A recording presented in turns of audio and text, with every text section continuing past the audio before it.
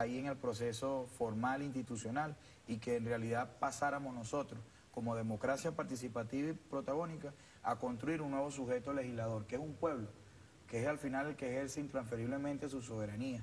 Y el hecho de la legislación, el hecho del ejercicio del control político, administrativo, del debate público, también es un tema de interés de la ciudadanía, de la comunidad, de la organización popular. Ah, que a ellos les molesta, que ellos tienen en su lógica y en su cultura política es la, la democracia representativa burguesa formal que nada más llegan a reconocer hasta el municipio y no reconocen nuevos sujetos de descentralización que se le transfiere propiedad, recursos, identidad, ejercicio político. Ah, bueno, eso es otra cosa.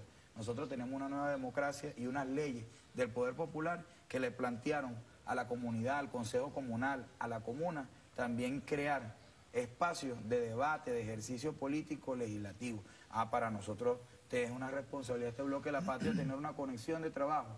Ellos empiezan a negarla. Se va a marcar la agenda allí, que, Víctor. que es inconstitucional, que es ilegítima, que es ilegal. No vale. Está fundamentada en unos principios constitucionales, tiene un desarrollo a través de unas leyes orgánicas y tiene una expresión concreta de base popular que se ha venido construyendo en estos consejos comunales y en, y en, y en las comunas. Ah, bueno, por supuesto que nosotros tenemos una tarea que vamos a seguir cumpliendo ahí en la Asamblea Nacional, de también llevar nuestra agenda legislativa.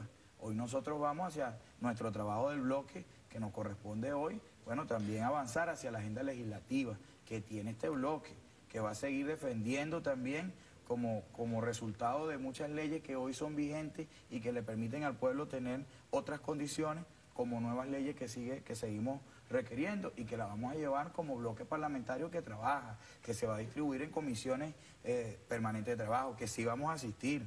Mucha sea, gente se pregunta eso, si cada vez que ellos com- eh, se le ocurren atrocidades dentro del hemiciclo, ustedes se van a retirar. No, Como- mira, nosotros no, no nos retiramos ahí en dejando, por decirlo así, el vacío o el espacio cedido. Nosotros cumplimos hasta la instalación del, de- del periodo de sesiones, de la designación de su junta directiva y fijamos posición, pues nosotros no vamos